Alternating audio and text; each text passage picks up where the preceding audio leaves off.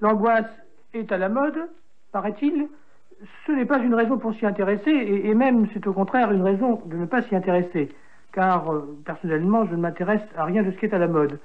Dans l'importance attribuée à l'angoisse aujourd'hui par nos contemporains, je ne vois rien d'autre que frivolité, sujet de conversation et galéjade littéraire. ce nouveau mal du siècle, ce nouveau mal du nouveau siècle se distingue du précédent, celui du XIXe siècle, par son insupportable ton doctoral et par cette espèce de, de pédantisme métaphysique qui, venu d'Allemagne, s'est abattu depuis la guerre sur le théâtre, le, roman euh, et, même l'intéressante vie sexuelle de nos contemporains. Tout cela est tout à fait frivole. Et parmi tant de, stylographes passionnés, je reconnais beaucoup plus de tristotins que de vrais anxieux. Je m'excuse de diminuer ainsi ce sujet, mais c'est peut-être pour le réduire à ce qu'il a de vraiment essentiel. Car c'est bien le cas de le dire, euh, ceux qui pérorent et dissertent le plus sur l'angoisse aujourd'hui ne sont nullement les plus angoissés. Et surtout, ce ne sont pas du tout ceux qui l'ont le plus tragiquement éprouvé pendant les quatre années d'épreuve que nous avons vécues et au cours desquelles euh, il pouvait y avoir véritablement une expérience de l'angoisse. Et vice-versa, ceux qui l'ont le mieux connu pendant ces années terribles, au cours de ce long cauchemar, et qui peut-être auraient le plus de raison d'en parler et le plus de choses à en dire, ne sont ordinairement pas fort loquaces sur ce chapitre. Et, c'est même à cette discrétion qu'on les reconnaît, car le propre de la véritable angoisse, Kierkegaard l'avait vu, est d'être muette. L'angoisse qui pérore, l'angoisse qui, gazouille et qui babille, comme celle de nos contemporains, est évidemment une, euh, une plaisanterie, une plaisanterie littéraire. Les, métaphysiciens de l'angoisse, de l'angoisse littéraire d'aujourd'hui, euh, au cas où ils auraient entendu parler de nos angoisses personnelles par les journaux, euh, pourraient peut-être nous consulter, ou tout au moins consulter les rescapés de l'enfer et de la persécution qui auraient peut-être enfin quelque chose à leur apprendre. Euh, ceci dit, la philosophie n'est pas là nécessairement pour poser des problèmes utiles pour l'expérience immédiate et pour l'action.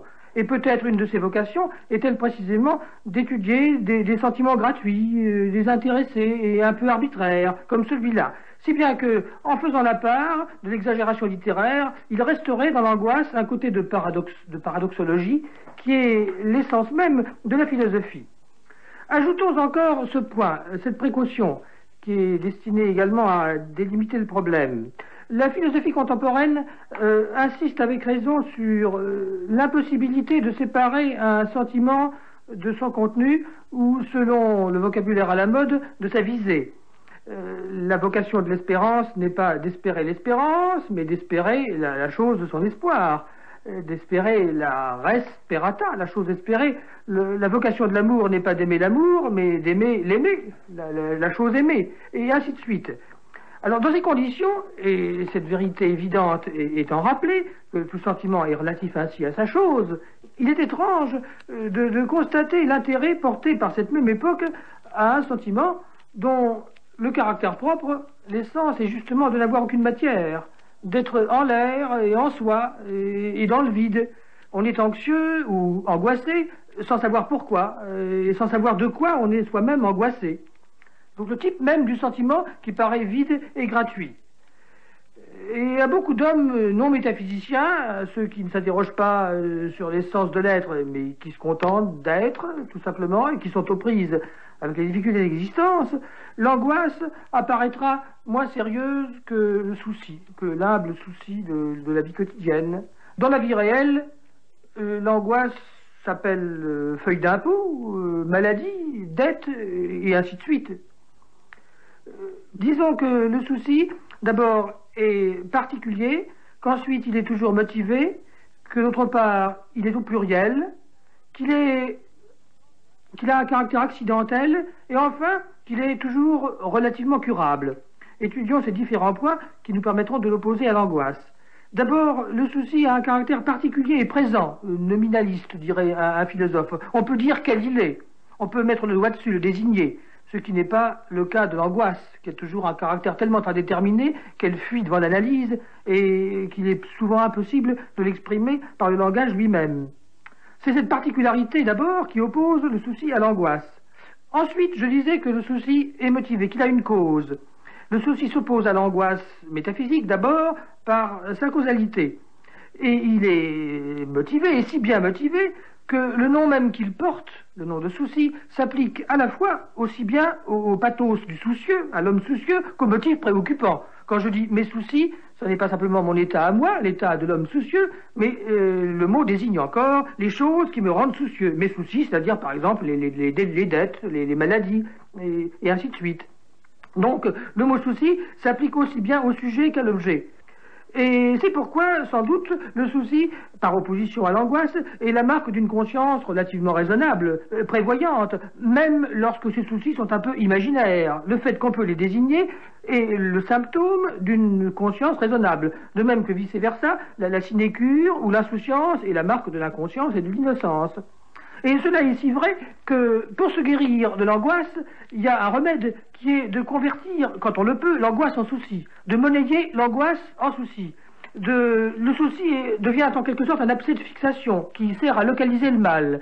Euh, et en effet, un mal localisé comme le souci est préférable à un mal diffus, à un mal filtrant comme l'est l'angoisse. Donc la euh, transformation de l'angoisse en souci est un commencement de guérison de l'angoisse. Euh, pour la même raison, le souci est légion, le souci est au pluriel. S'il y a souci, il y a possibilité de plusieurs soucis. Comme tout ce qui affleure à la surface de, l'être et de l'objectivité, euh, le souci tend vers la multiplicité des causes, des raisons, des, occasions. Il est dans le cas du scrupule, qui lui aussi est au pluriel. Rien de commun avec le côté brouillardeux, brumeux, diffus de l'angoisse qu'on appellerait volontiers, ce jour, un souci indéterminé, un souci cotonneux, vaporeux, qui obère l'existence en général. Ensuite, le souci est toujours accidentel. Je veux dire qu'il a un caractère, comme dirait volontiers un biologiste, exogène, ekbiotique, étranger à la, vie, allogène, si vous préférez. Le souci évoque l'idée de la concrétion, du corps étranger, qui gêne le mécanisme de la durée, de la futurition, le fait que le présent devient futur, comme une escarbille dans l'œil. Je dirais encore que c'est quelque chose comme l'élément scabreux, qui fait grincer la durée, qui paralyse le devenir, qui empêche l'être devenant de devenir. Sans le souci, l'être de temps que je suis durerait plus normalement, plus doucement, en accomplissant la fonction de l'avenir, la fonction exprimée par l'espérance, la fonction elpidienne. Il y a donc dans le souci quelque chose de contingent, d'adventiste, de surajouté et d'étranger à l'essence de la conscience. Et au contraire, le paradoxe de l'angoisse, c'est que cette angoisse qui grève si lourdement mon futur, qui rend la durée si difficultueuse, émane du centre même de l'être. Elle n'a pas quelque chose d'accidentel, comme le souci, mais quelque chose de nécessaire. C'est un embarras du devenir qui ne vient pas d'un obstacle relativement retranchable, facile à éliminer. Non, l'angoisse naît d'une fatalité constitutionnelle. Et pour l'appeler par son nom, je dirais que c'est une tragédie. Parce que c'est la tragédie de celui qui est, par exemple, selon le langage de Schopenhauer, qui est sans savoir pourquoi il est, et qui est sans avoir demandé à être, et qui ne peut pas désigner le point précis où gît cette fatalité. Le rapport est le même, en quelque sorte, entre l'angoisse diffuse et le souci assignable et, désignable que, en morale, entre la mauvaise conscience indéterminée et les remords ou les scrupules déterminés euh, qu'on éprouve à l'occasion d'une telle ou telle action. En effet, la mauvaise conscience semble en général, en tant qu'indéterminé, semble tenir au péché d'être en général, au péché d'exister, si tant est que ce soit un péché, ou tout au moins d'être ce que l'on est, par exemple ce que le christianisme appelle le péché d'origine, et inversement, les remords et les scrupules semblent engendrés, au contraire, par, euh, par le péché. C'est le péché cette fois non pas d'être, mais le péché proprement dit, celui d'avoir fait, ou, ou encore la crainte de devoir faire euh, quand il s'agit d'un scrupule avant la lettre. Donc, le péché d'avoir commis quelque chose ou la crainte de devoir commettre quelque chose. Mais c'est toujours un ceci ou cela, quelque chose de désignable. Par conséquent, dans ce dernier cas, il s'agit soit d'un regret euh, vers l'arrière, soit d'une appréhension vers le futur, mais regret ou appréhension d'un acte particulier qui est une faute, par opposition à la mauvaise conscience en général, qui, elle, euh, pourrait s'appeler mauvaise conscience substantielle, la mauvaise conscience de la créature finie, imparfaite, du sujet qui se sait, euh, qui se sait métaphysiquement fautif, en quelque sorte, mais fautif de sa faute intelligible, fautif pas parce qu'il a fait ceci ou cela, mais fautif parce qu'il est né, fautif parce qu'il est, il est né dans le péché, comme dit le christianisme, ou comme, rappelle Pascal. Donc, euh, fautif avant d'avoir rien fait de mal. Et par exemple, en l'espèce, il a mauvaise conscience, même s'il n'a pas mal agi, parce qu'il sait qu'il hum, y a en lui un principe d'amour-propre, impur, qui enténèbre tout bon mouvement, qui, ternit toute initiative, euh, tout premier mouvement et qui est par exemple la conscience complaisante de bien agir et qui ternit déjà euh, la valeur de l'acte. C'est la mauvaise conscience d'avoir bonne conscience, qui est la tentation spirituelle proprement dite. Eh bien, cette mauvaise conscience en général, sans avoir rien fait, mauvaise conscience de l'être, et je le répète, avec les scrupules déterminés ou les remords déterminés dans le même rapport que l'angoisse en général avec les soucis particuliers. Dans ces conditions, le problème se déplace un peu. Et il y a une certaine symétrie entre le problème métaphysique de l'angoisse et le problème métaphysico-moral de la mauvaise conscience à déterminer. Le problème métaphysico-moral est le suivant. Comment peut-on être responsable avant d'avoir rien fait? Et plus encore, comment peut-on être coupable sans avoir rien fait? Vous avez reconnu là le mystère même du péché d'origine, celui qui est coupable sans avoir fait un ceci ou cela. Et ceci nous fait toucher au grand mystère de l'anthropodicée en général, qui est le mystère de la liberté et le mystère de la culpabilité métaphysique, non pas empirique, mais métaphysique, la culpabilité du coupable innocent, car euh, dans beaucoup de religions et dans une certaine expérience métaphysique du sujet par rapport à lui-même, on peut être coupable tout en étant innocent, et coupable d'être, coupable d'être né. Je ne dis pas que ce soit clair, enfin je dis que c'est le grand problème métaphysique de l'anthropodicée. Et je le rappelais pour montrer le rapport, la ressemblance qu'il a avec le problème métaphysique de l'angoisse. En effet, dans ce dernier cas qui nous occupe, on exprimerait ce mystère de la manière suivante. Comment le devenir peut-il être enrayé, peut-il être euh, obstrué, non pas par un obstacle étranger, comme le souci, mais euh, comment le devenir est-il enrayé par une difficulté inhérente à sa nature même, à la nature même du devenir, par une difficulté intestine, si on peut ainsi s'exprimer. Ou autrement dit, euh, comment et par quel paradoxe l'être créaturel peut-il impliquer sa propre contradiction? Avoir mauvaise conscience parce qu'il est né. En, en de quel débat De quel antagonisme interne?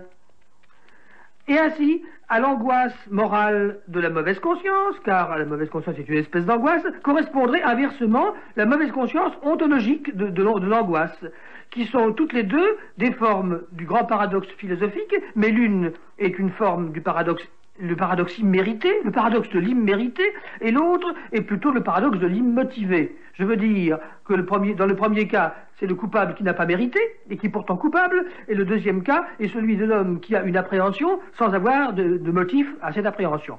L'immérité et l'immotivé sont en somme deux formes d'un seul et même mystère, qui est évidemment un mystère supracausal, mystère métampirique, métaphysique, et qui est en somme le grand paradoxe philosophique, inutile et, gratuit, puisqu'après tout, la philosophie est là pour problématiser ce qui en soi ne fait pas problème. Rappelez-vous cet appendice de Schopenhauer au monde comme volonté et représentation, où Schopenhauer nous montre l'étonnement philosophique euh, soulevant des problèmes qui ne sont pas faits pour être posés par l'homme comme problèmes. Eh bien, ils s'expriment et ils se vivent en eux-mêmes dans l'angoisse, dans ce sentiment inutile et gratuit qu'est l'angoisse. C'est donc sur ce point qu'il nous faut maintenant insister, je veux dire, le côté non motivé de ce sentiment. La marque d'un sentiment empirique est tellement immotivé qu'on peut se demander si l'angoisse est vraiment un sentiment, car euh, l'idée même du sentiment exprime quelque chose qui est vécu empiriquement, qui a des dimensions empiriques et dont relativement on peut retrouver ou assigner des causes. La marque du sentiment ordinaire, empirique et strictement psychologique est justement sa motivation. Je ne dis pas que cette motivation soit forcément raisonnable. Le motif peut être insignifiant, frivole, comme il peut être grave et fondé. Il peut être imaginaire, comme il peut être raisonnable. Euh, le motif peut être précis, ou bien au contraire passionnel, inavouable, affectif, comme un, comme un mobile, par exemple. Mais dans les deux cas, la motivation exprime que le sentiment essaye de se justifier par rapport à lui-même, qu'il n'est pas indépendant de toute causalité, cette causalité fut-elle non pas un déterminisme biologico-physiologique, comme pour l'excitant, mais une détermination interne, par l'intelligence, par l'être émotionnel, par des valeurs ou par des préférences. Ceci est donc commun aux soucis et aux scrupules. Le souci dont nous avons montré qu'il est à la fois l'état subjectif du soucieux et en même temps le motif lui-même. Et en effet, si infondé qu'il soit, ou si disproportionné à son objet, comme cela arrive si souvent, euh, le souci, euh, comme la crainte, désigne toujours un redoutable, n'est-ce pas? On redoute un, redoutable, même si ce redoutable n'est pas objectivement redoutable. C'est ce que Platon montre quelque part quand il parle du rapport de courage ou de la lâcheté avec le deinon, la chose redoutable, le danger. Même, je le répète, si ce redoutable n'est pas redoutable en soi. Donc, à moins d'être folle, une crainte exprime toujours son rapport à cette cause. Eh bien, l'angoisse est la façon qu'a un homme sain d'esprit d'être dément, c'est-à-dire d'avoir peur sans cause. On peut euh, se représenter l'angoisse en quelque sorte comme une peur à la limite, comme une crainte à la limite, en la pensant à partir de la crainte ou du souci, c'est-à-dire dans le langage de l'empirie motivée. L'angoisse est un souci sans cause préoccupante particulière. Par conséquent, ce n'est pas un souci du tout. C'est pour faire comprendre que je dis c'est un souci qui n'aurait pas de cause. Prenez un souci, supprimez ses causes et à la limite vous aurez l'angoisse. Prenez une peur, une crainte et supprimez le redoutable. Vous aurez quelque chose comme l'angoisse. C'est donc une peur sans motif, donc ce n'est pas une peur. Ou plutôt, c'est une peur qui n'a pas particulièrement peur, car une peur qui n'a peur de rien n'est pas n'est une peur que métaphoriquement. Tels sont ces états indéterminés, indéfinissables de malaise, qui tiennent à l'intuition d'un je ne sais quoi, et dont le sujet ne s'explique pas lui-même les raisons, comme un, comme un sans raison, d'avoir peur sans motif, d'avoir peur de la peur, d'avoir peur d'avoir peur. La peur d'avoir peur, et je désigne par ces mots la peur vide, est quelque chose comme l'angoisse et la peur qui est métaphysique et qui est en l'air. De même qu'il peut y avoir un amour de l'amour, dans lequel l'amour n'a pas d'objet direct. De même, il y a une peur sans matière, en quelque sorte vide, et c'est à elle que nous donnerions le nom d'angoisse. Et, peut-être même, au-delà de cette peur de la peur, on pourrait concevoir encore une angoisse plus impalpable si possible, qui serait une peur de l'angoisse elle-même, qui serait donc une peur à la troisième puissance et à laquelle on pourrait peut-être, puisque les deux mots existent en français, réserver le nom d'anxiété.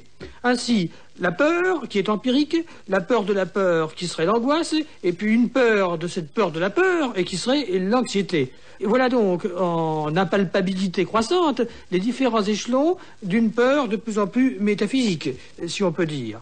Seulement, le sujet n'aime pas à reconnaître qu'il a peur sans raison et il, considère que tous ces sentiments doivent être motivés. C'est pourquoi il aime, après coup, à reconstruire et à logiciser ses sentiments.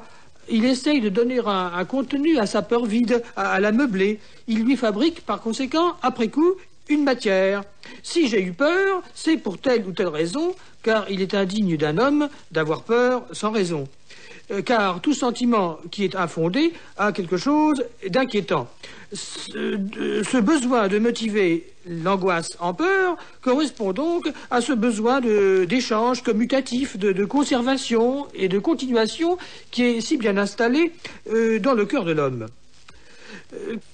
Les peurs empiriques trouvent donc leur matière dans la continuation de l'existence, et notamment dans ce qui forme le trafic, le, va-et-vient des intérêts, des, entreprises, des grandes et des petites affaires de l'intervalle. L'angoisse elle-même, quel objet a-t-elle? C'est un objet sans objet, et je crois qu'on ne peut pas lui trouver d'autre nom que l'instant. L'instant est le nom que nous donnerions à cet objet qui n'en est pas un, car qu'est-ce que c'est que l'instant?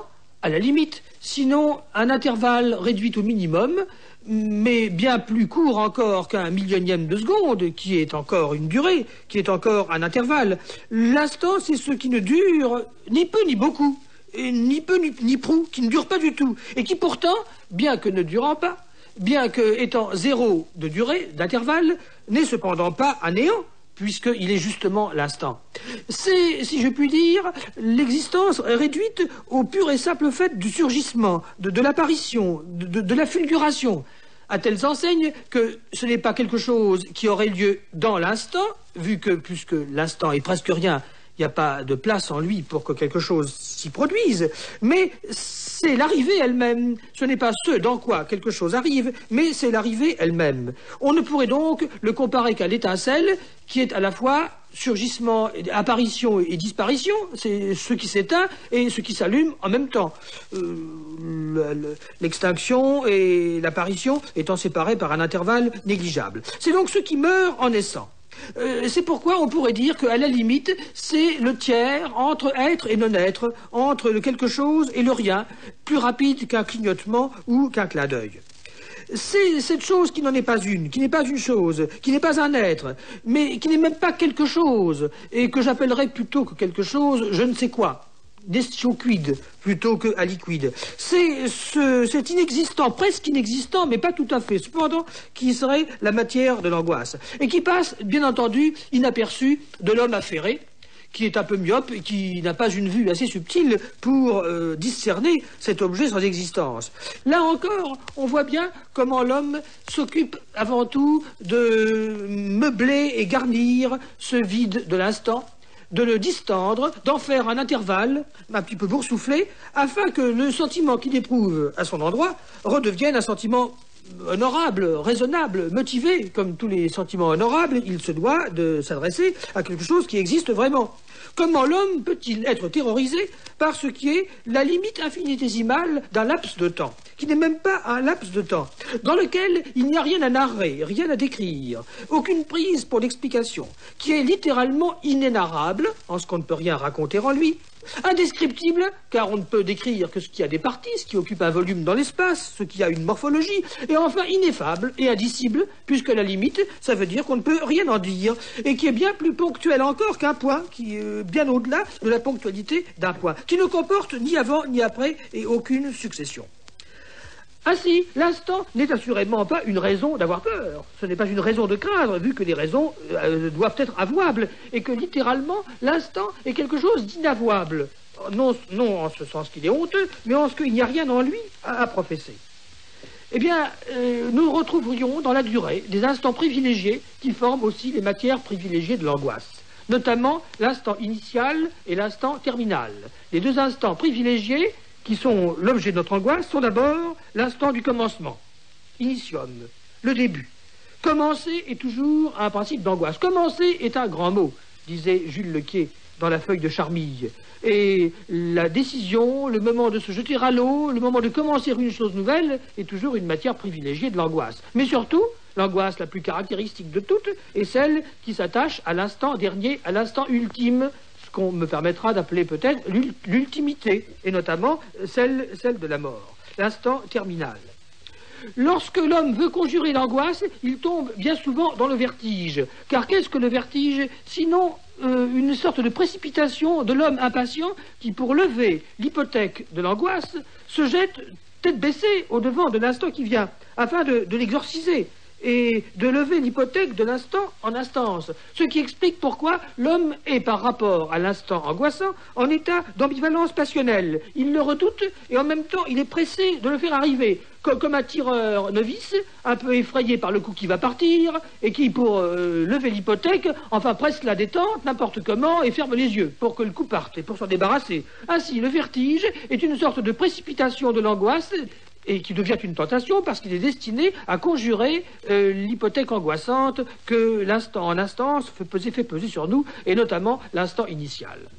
Entre l'instant initial et l'instant terminal, qui sont les deux instants fondamentaux, les plus grands objets d'angoisse de la durée, nous en trouverions d'autres euh, dans la continuation elle-même, auxquels vous me permettrez peut-être de donner le, mot de, le nom de moment, puisque nous avons aussi en français les deux noms, l'instant étant réservé donc aux grands instants privilégiés, comme commencement et d'ultimité, le moment étant plutôt en cours de continuation, ces commencements moyens qui sont aussi des fins, ces fins relatives, qui sont également des commencements et sur lesquels la continuation rebondit. Et ce sont évidemment les objets les plus humbles, les plus quotidiens de l'angoisse, puisque tout le monde n'est pas condamné à mort, et tout le monde non, plus n'a pas à prendre des initiatives tellement solennelles. Et cependant, ce sont ces, moments qui de temps en temps, rendent la continuation un peu passionnante, la font s'effiler, font battre le cœur euh, un peu plus fort et un peu plus vite. Et nous, voyons bien que dans tous ces moments, ce n'est pas non plus, ce n'est ni l'avant ni l'après qui est l'objet de l'angoisse, car l'après est peut-être l'objet d'une peur lorsque l'état nouveau se sera installé en nous, et l'avant, alors, n'est pas du tout euh, le, danger lui-même, c'est plutôt le pendant qui est intermédiaire entre l'avant et l'après, et qui est l'objet presque inexistant de cette petite angoisse, de cette angoisse moyenne. Si l'angoisse était empiriquement motivée, on la dissiperait en réfutant ses raisons. Mais puisque ce qu'elle appréhende est l'instant ou le moment qui est sans durée, qui n'est rien, qui est comme rien, pas tout à fait rien, n'est-elle pas, à la lettre, irréfutable? Nous avons étudié les rapports de l'angoisse avec l'instant et montré que l'instant est la matière inexistante de l'angoisse. C'est ce que nous allons vérifier sur deux objets privilégiés, deux instants privilégiés en quelque sorte, qui sont d'une part la douleur, et d'autre part la nouveauté en général. L'angoisse d'une douleur appréhendée, même lorsque cette douleur est attendue, car euh, vous remarquerez d'abord qu'on peut être surpris par la chose du monde la mieux attendue, la plus attendue, la mieux prévue. Euh, l'angoisse, et ici nous allons le vérifier, pour, la douleur, n'a pas pour matière le lendemain de la douleur, ni, ni ses conséquences, ni l'état nouveau qui va s'organiser autour de la douleur. Car le malade, euh, par exemple, peut éprouver chaque fois que la douleur, une fois qu'elle est installée, devient un régime, un nouveau régime, devient un palier en quelque sorte, et n'est plus l'objet d'une angoisse particulière, une, fois qu'elle est là. Pascal l'avait déjà remarqué pour la maladie, lorsqu'on est bien portant, on se demande comment on pourrait supporter la maladie, ce que l'on fera quand on sera malade. Et puis, un beau jour, on tombe malade et on fait comme tous les malades, c'est-à-dire qu'on a une vie de malade avec des petites joies de malade, d'humbles plaisirs de malade, des, espérances et des, joies d'hôpital. L'homme s'arrondit à la mesure de sa détresse, s'installe dans sa misère et euh, connaît, dans l'état diminué où il se trouve, un nouveau palier, un nouvel intervalle. La douleur, lorsqu'elle est présente, n'est pas si terrible que cela. Euh, c'est avant qu'elle ne se déclare qu'elle est terrible. Et ainsi, l'angoisse n'a plus pour matière l'au-delà de la douleur, mais naturellement, elle n'a pas non plus pour matière l'en-deçà de cette douleur. En réalité, elle marque, elle signalise, pour ainsi dire, le passage de l'un à l'autre, de l'en-deçà à l'au-delà, du, pas encore au déjà plus. Avant, il n'y a pas matière à angoisse, bien entendu, et après, il n'y a plus matière à angoisse. C'est pendant qu'il y a matière à angoisse. Un pendant qui d'ailleurs est, vide, puisque, comme nous l'avons montré, l'instant n'est rien. Dans le seuil de l'un et de l'autre, il ne se passe rien. C'est ce qui fait à la fois le vide de l'angoisse et en même temps son évidence incontestable. D'une part, son absence de matière, d'autre part, sa si vive et si incontestable réalité.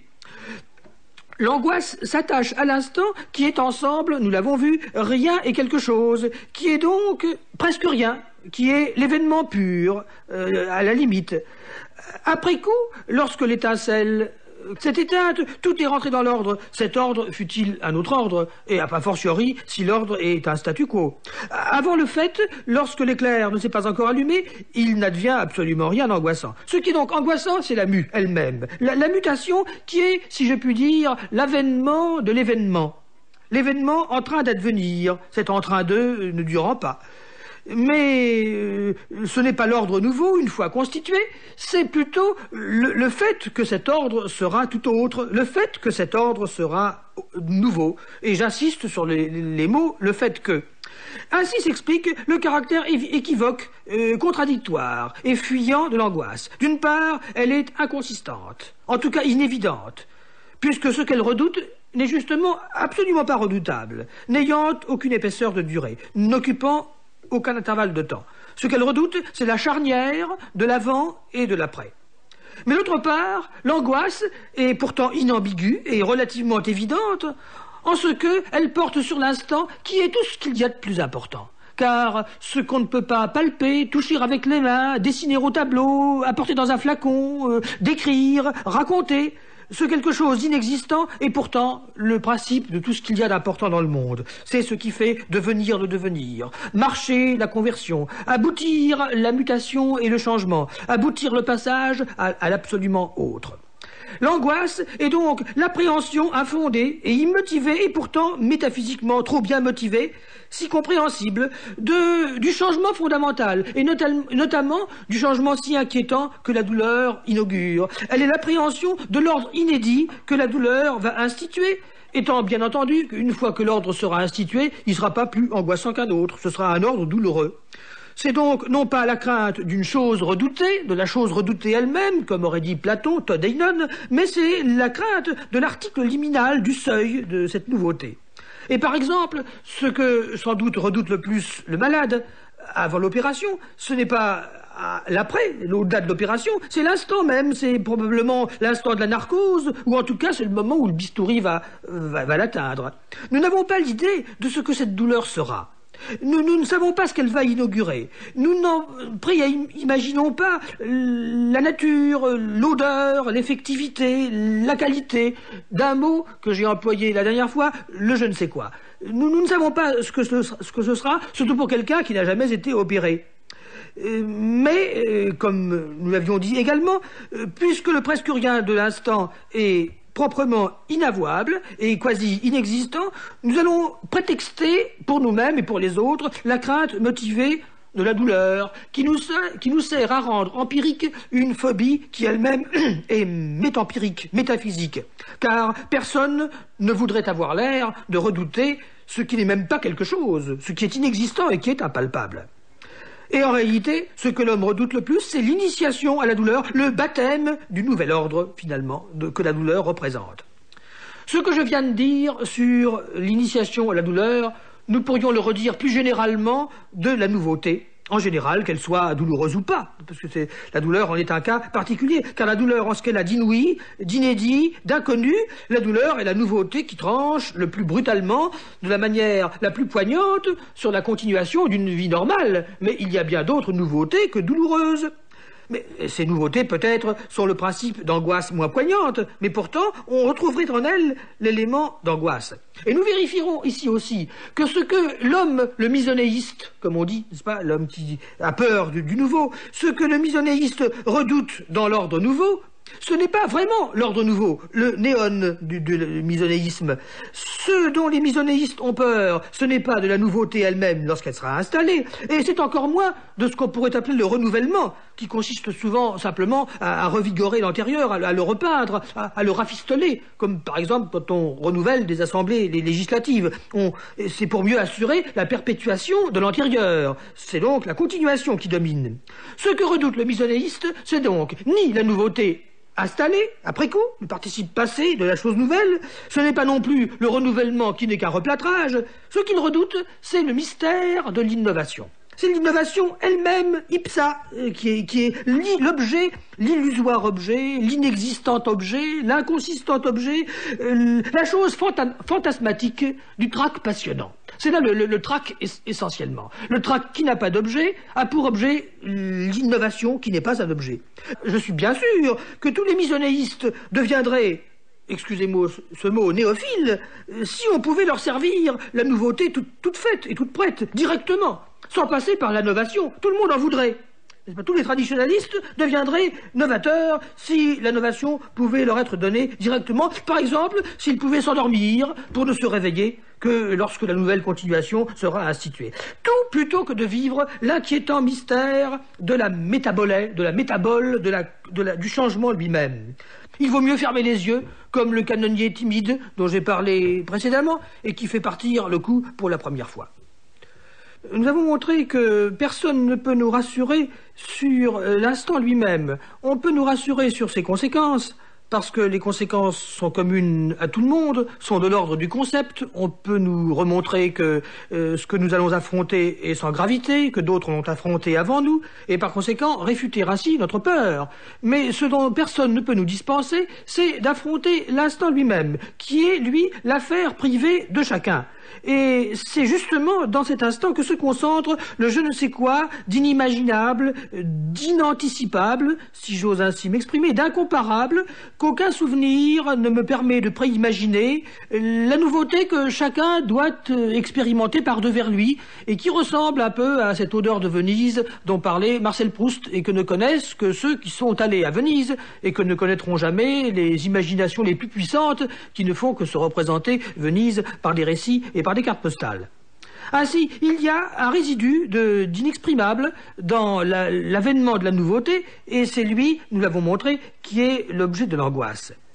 Mais à ce compte, on pourrait montrer que c'est la durée en général et ceci indépendamment des expériences vives, des expériences hyperboliques, euh, des plongeons dans le vide, des grandes douleurs. C'est cette durée moyenne qui est à sa manière une possibilité permanente d'angoisse, dans la mesure où la durée est un avènement continué d'avenir, c'est-à-dire une aventure, car vous remarquerez le participe futur de aventure qui désigne l'avenir en instance, l'avènement lui-même euh, de, l'avenir. L'instant, sur le moment, n'est rien du tout quand il est du présent, car dans le présent, l'instant s'écrase dans la continuation et devient un éternel maintenant. C'est l'instant un peu gluant euh, dont, qui est par exemple mon présent actuel. Les Grecs n'avaient guère connu que celui-là, puisqu'il n'y a pas de mot pour le désigner en grec et qu'Aristote appelle l'instant tonune, c'est-à-dire le maintenant. Il n'en connaît pas d'autre. Euh, que ce maintenant soit celui du forçat qui accomplit au bagne le temps de sa peine, ou celui du promeneur qui flâne sur les quais au printemps, dans, les deux cas, il n'y a aucun principe d'angoisse dans un présent qui est euh, coextensif à l'intervalle. Ce qui est donc objet d'angoisse, c'est l'instant en suspens. C'est l'instant en instance. Et par conséquent, c'est la possibilité. L'instant comme possible dans la mesure où il est l'énigme du sphinx. Du sphinx euh, qui, euh, qui représente une potentialité à déchiffrer.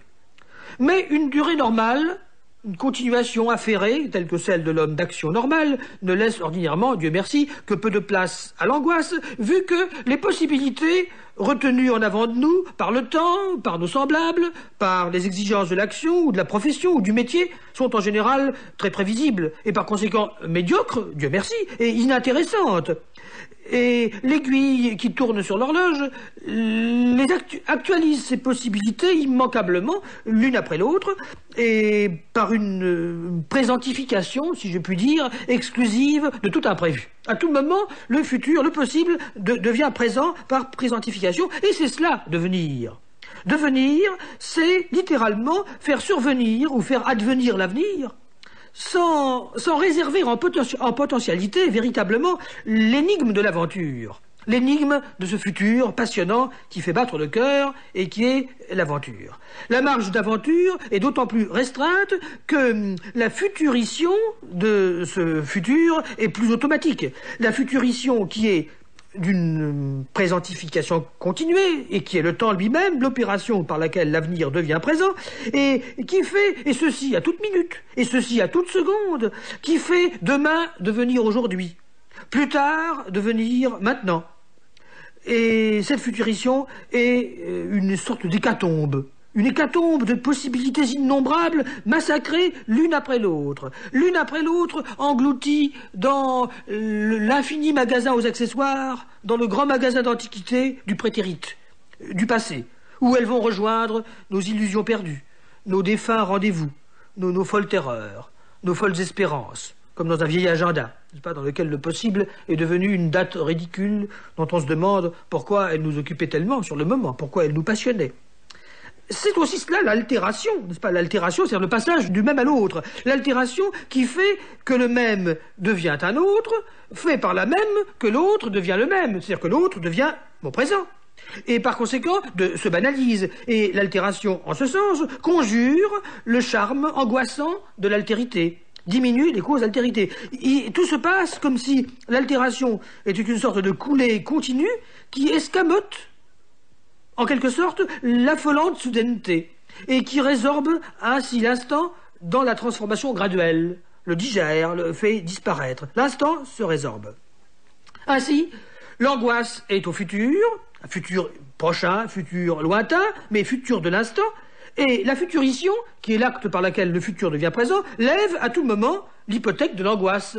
Par conséquent, alors même que je serai de tempérament angoissé, le temps est là pour me désangoisser, si je puis dire, pour faire disparaître l'angoisse, parce que au fur et à mesure que les aiguilles tournent et que les possibles s'usent, se, se consument, les raisons d'angoisse disparaissent. Et l'ennui achève de me désenvoûter. L'ennui est le contraire de l'angoisse. Et je ne dirais pas que c'est un remède, parce que c'est un mauvais remède, c'est comme se guérir d'une maladie par une autre maladie. L'angoisse, euh, c'est une maladie qui fait saillir les instants, qui, les rend trop, trop passionnants et, qui me, me, me, consume par leur ferveur. L'ennui, c'est le contraire. L'ennui euh, digère, fait disparaître les instants. L'ennui est un nivellement d'instants. Dans une vie ennuyeuse, il n'y a plus d'instants du tout. Il n'y a plus qu'une continuation morne, un intervalle sans instant, invertébré, euh, sans, sans charpente, sans, sans musculature, complètement mou. Euh, et c'est une autre forme d'une autre maladie. Ainsi, euh, le temps lui-même, aidé par l'ennui, qui est le mal du défaut d'instant, défait ce que fait le temps, euh, c'est-à-dire défait le travail de l'angoisse. Le temps défait lui-même ce qui le constitue et ce qui le rend passionnant en digérant les instants. Toutefois, dans cette durée euh, naturellement assez ennuyeuse et qui n'a rien de commun avec l'angoisse, chez la plupart des humbles euh, euh, hommes occupés par leur profession ou par leur métier, il existe quand même, en pleine continuation, des possibilités d'aventure, des possibilités aventureuses qui font renaître à tout moment l'angoisse, à tout moment nivelée par l'ennui. Tels sont notamment, en dehors des voyages aux Indes occidentales, pas, des, explorations des souterrains et, des, cimes des montagnes, il y a, pour celui qui reste à sa place, des possibilités d'aventure dans les volontés imprévisibles de nos semblables, de ceux qui nous entourent, et qui retiennent des possibles en virtualité. Parce que la volonté d'un autre, ce n'est pas impossible comme les autres. En effet, l'autre est libre. Et la liberté, la liberté de l'autre, que nous savons toujours un peu capricieuse et imprévisible, est pour nous un objet d'angoisse sans cesse renouvelé. Car elle représente, malgré tout, quel que soit l'autre, une possibilité de réaction toujours capricieuse, souvent gratuite et arbitraire, qui suspend d'instant en instant, au-dessus de notre angoisse, l'épée de Damoclès de l'énigme, l'épée de Damoclès du choix arbitraire, si prévisible que soit quelqu'un, un autre que nous, nous ne savons jamais de science certaine comment il réagira dans telle circonstance donnée, quand je vais lui demander quelque chose, quand je vais lui révéler ou lui annoncer quelque chose. Malgré tout ce que je sais de son passé et les possibilités de sa, de sa réaction, il reste un je ne sais quoi, comme l'odeur de Venise dont je parlais tout à l'heure, pour ceux qui y sont allés, comme euh, le, froid du bistouri pour ceux qui l'ont éprouvé, il reste donc quelque chose d'inexprimable qui est inhérent à mon rapport avec lui, et qui rend mon rapport avec l'autre si prévisible que sous cet autre, toujours à quelque degré passionnel. C'est pourquoi un contact nouveau, avec une personne nouvelle, quelle qu'elle soit, implique toujours un élément d'angoisse. Pour qui va au fond des choses Naturellement, on n'a pas le temps d'être angoissé, quelquefois ces rapports sont bien banals. Mais si je voulais approfondir jusqu'au bout le, commerce, le rapport que je veux avoir avec cet inconnu, même dans des circonstances professionnelles définies, je pourrais trouver un petit élément d'angoisse, une très humble, très élémentaire aventure, qui n'est pas si grande que celle de celui qui veut monter à l'Everest ou qui fait la guerre, mais une aventure quand même.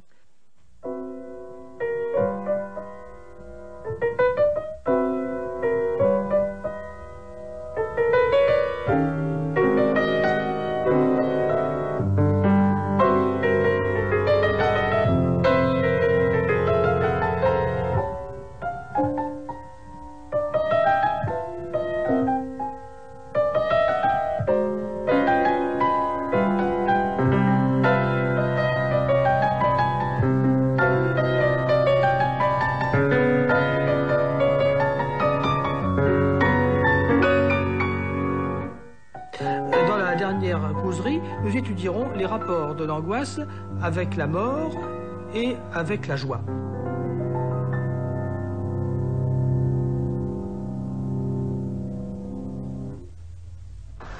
Nous mettions la dernière fois en lumière le massacre des possibles qui, par l'effet du temps et minute après minute, amenuise le champ du virtuel, une espèce d'hécatombe qui restreint le champ de la potentialité. Euh, ce rabougrissement de la peau de chagrin, ce, ce si je puis dire, c'est cela, vieillir. Il n'y a qu'une seule possibilité, qui survive jusqu'à la fin à l'actualisation des possibles par la sénescence. Il n'y a qu'un seul futur, qui reste toujours futur, et ne devient jamais passé. Il n'y a qu'un seul instant, en un mot, qui est toujours en instance, et qui donc est l'instant par excellence. Cet instant du futur toujours futur, c'est l'instant de la mort. C'est l'article mortel, qui est le seul instant ultérieur qui ne sera jamais supérieur, du moins pour l'intéresser. Le seul au-delà qui ne sera jamais en deçà, sauf pour les témoins, ce qui n'est pas la même chose. Et par conséquent aussi, l'hypothèque de la mort est la seule qui ne sera jamais levée, du moins pour moi, pour celui qui parle, pour l'intéresser lui-même. Voilà sans doute pourquoi l'angoisse de mourir est l'angoisse par excellence. L'angoisse des angoisses est celle dont toutes les autres sont les miniatures, les, prodromes, les, vignettes, si on peut ainsi s'exprimer. Nous pourrions donc distinguer des angoisses minuscules, qui sont celles dont nous avons parlé jusqu'à présent, l'angoisse majuscule, qui, elle, se rapporte à l'instant ultime, à la grande fin, à ce que j'appelais dans une causerie antérieure l'ultimité. L'instant ultime, c'est-à-dire l'instant absolument dernier, non point relativement dernier, mais absolument dernier, le seul en effet qui soit en même temps à la fois initiation et terminaison, du même coup, puisqu'il est le seul qui ne comporte aucun après, aucun au-delà, puisqu'il désigne une possibilité absolument terminale et qui ne sera jamais connue que comme possible. L'homme vivant, enfin l'homme intéressé, euh, le sujet pour celui, qui parle, ne connaîtra jamais la mort qu'à titre de possibilité, puisque lorsqu'elle est actuelle, il n'est plus là pour en parler, ni pour philosopher sur elle. Et par conséquent aussi, les consolations, euh, bonnes paroles, euphémismes, les, dragées, les, excellents conseils relatifs à l'au-delà, à, l'après, sont particulièrement dérisoires, ridicules et inopérants lorsqu'il s'agit de l'instant ultime. D'autre part, la mutation soudaine que représente l'article mortel, l'article létal, est particulièrement hyperbolique, puisqu'elle n'est pas, comme les mutations empiriques que nous connaissons, en général, mutation de quelque chose à quelque chose d'autre, mais elle est mutation de quelque chose à rien du tout. Peut-on encore appeler cela une mutation? Toutes les mutations que nous connaissons se définissent par rapport à quelque chose qui ne change pas, par rapport au même, mais que dire d'une mutation qui est un changement du tout au tout, qui affecte à la fois le sujet, la forme et la matière, et qui nous conduit non pas de quelque chose à un autre, mais de quelque chose au néant cette mutation, si c'en est une, voilà décidément le, saut mortel, c'est bien le cas de, le dire, que chacun doit accomplir tout seul, par devers soi et quant à soi, que personne ne peut faire à ma place. L'angoisse et le désarroi produits dans l'homme par l'instant. L'instant qui suspend la continuation douillette, qui ne demande qu'à se perpétuer. Et par conséquent, l'angoisse n'est pas le désespoir, mais c'est plutôt l'appréhension du désespoir, lequel n'est jamais là. Et il est bien vrai que l'angoisse est, si peur il y a, une peur inconsistante et fantasmatique, puisque par définition même, il, est vrai de dire qu'il n'y a littéralement jamais rien à craindre, ni avant ni après. Avant, parce que le danger n'est pas là, et après, parce que quand le danger est là, je me suis arrondi à l'intérieur de ce danger, et c'est une vie nouvelle que je mène. L'angoisse de l'instant est donc inconsistante. Et pourtant, l'instant qui est l'objet de cette angoisse n'est pas inexistant. L'angoisse est inconsistante, mais l'instant angoissant n'est pas inexistant, car il est le zéro de durée qui propulse la durée, la pulsion qui propulse, la motion qui fait advenir les moments et qui fait aboutir le changement. L'instant n'est pas inexistant, il est plutôt presque existant, ou, ce qui revient d'ailleurs au même, il est super existant, plus qu'existant, en tout cas autre chose qu'existant. Ce quelque chose qui n'est rien, c'est ce que nous avons appelé le je ne sais quoi. L'instant est donc quelque chose de relativement existant. Mais pourquoi faut-il qu'il nous fasse peur? Pourquoi serait-il un principe d'angoisse? Au fond, L'angoisse que provoque en nous l'instant, la, panique de l'instant, trahit l'inadaptation foncière de l'homme, créature d'intervalle et de continuation, à l'effilement vertigineux et subtilissime de l'instant. L'homme de l'intervalle, c'est-à-dire la créature médiocre de l'entre-deux que nous sommes tous, n'est pas fait pour l'instant, mais il est fait pour s'allonger sur le divan de la continuation, de l'imitation et de la répétition. Il est fait pour les habitudes qui le dorlotent, les petits trafics et les grandes affaires, qu'il reconduit si soigneusement de jour en jour et qui le prépare si mal à s'élever sur la cime impalpable du presque rien. Ceci nous conduit peut-être à entrevoir un, remède à l'angoisse qui serait dans le problème lui-même et qu'on pourrait dédier à ceux que nous appelions dans la première causerie les, stylographes angoissés, enfin à tous ces personnages qui sont peut-être moins anxieux qu'ils n'en ont l'air, dans la mesure où il ne s'agit pas d'un simple babillage littéraire ou d'une galéjade. Ce remède, nous le trouverions dans l'intuition et dans le courage. L'homme de la continuation n'est pas adapté à l'effilement du presque rien que j'appelais l'instant, et c'est pourquoi il est anxieux. L'intuition, qui est la tangence de l'homme avec l'intangible. La pointe de l'âme, confondue avec le poids de l'instant, la finesse de l'esprit coïncidant avec la finesse de la mue instantanée. L'intuition peut-être rendrait à l'homme une espèce de fraternité avec l'objet de sa terreur, le réconcilierait avec cette terreur. L'intuition est dans l'ordre gnostique ce que le courage serait dans l'ordre drastique, qui est justement le courage d'affronter l'instant pour celui qui, qui cesse d'être anxieux pour, euh, pour des riens. L'homme réconcilié avec l'instant par l'intuition et par le courage. C'était peut-être l'habitude de la chose, je veux dire, l'habitude de ne considérer comme existant que ce qui est chose massive et consistante, qui a une morphologie optique, qui a des dimensions, et qu'on peut palper, euh, décrire, euh, raconter. C'était, dis-je, l'habitude de la chose, reste, et par suite, l'étonnement de ne pas reconnaître une chose dans la motion ou dans la pulsion infinitésimale, c'était cette habitude et c'était cet étonnement qui affolait l'être d'intervalle et l'emplissait d'angoisse.